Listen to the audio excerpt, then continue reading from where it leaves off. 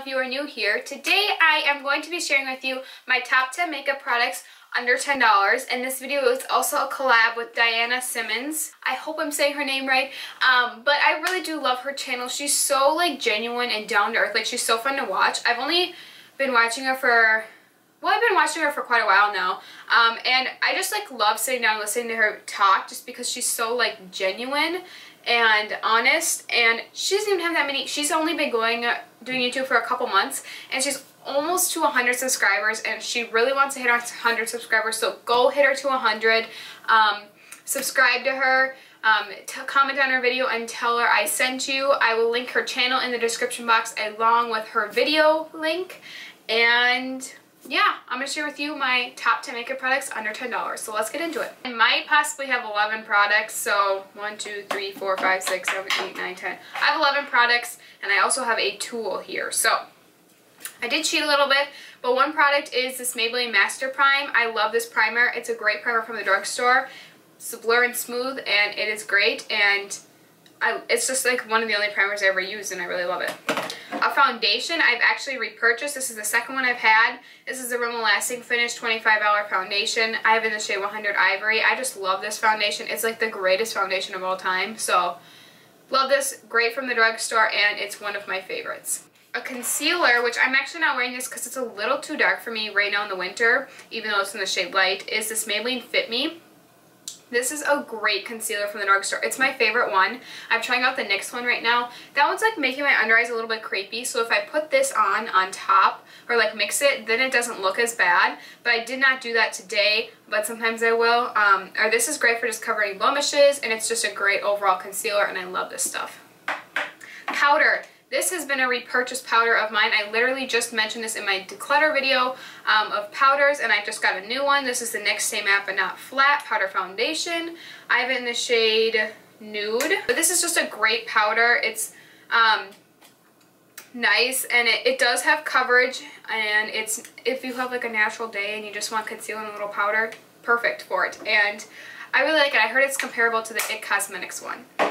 And you guys, I didn't mention, this was so hard for me to pick out my favorite products under $10 because I have so many favorite drugstore products. A lot of them are over $10 because the drugstore is getting so expensive. But um, a lot of these products I was like having a hard time narrowing down to be honest. Okay, so I was going to mention this bronzer but not anymore because I just realized it's over $10.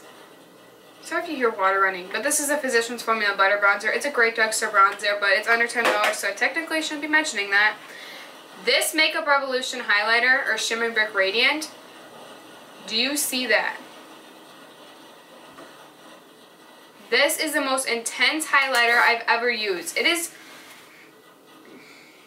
I love it because you can get different shades for different skin tones. So if your skin tone is a little bit deeper, um, there's like a deeper one if you want more of a pink, a more yellow, a more kind of like a bronze. There's just like so many different shades. So I have like stains of swatches on my hands.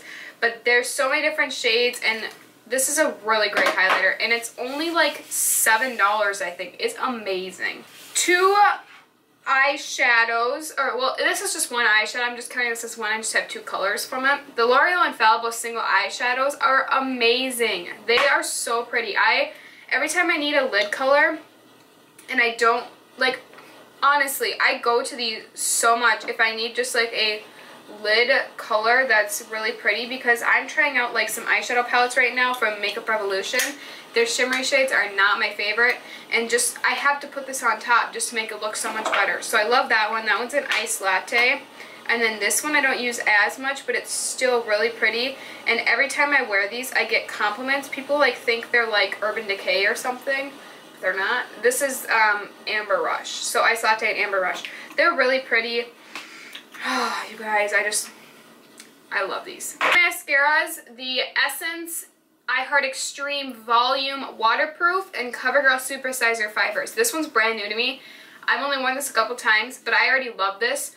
Um, so I probably technically shouldn't be putting this in here, but I have a lot of mascara favorites, to be honest with you. I can't really choose one. I really like this CoverGirl Supersizer Fibers. To be honest, I haven't really found my holy grail mascara yet. I'm still searching for it.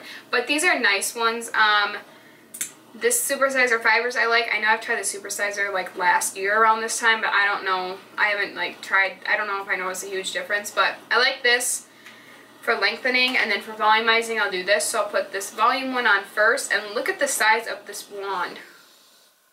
So I'll put the volume one on first, lengthening one after. I have false lashes on right now, but these are great. I'm actually wearing this today with my false lashes.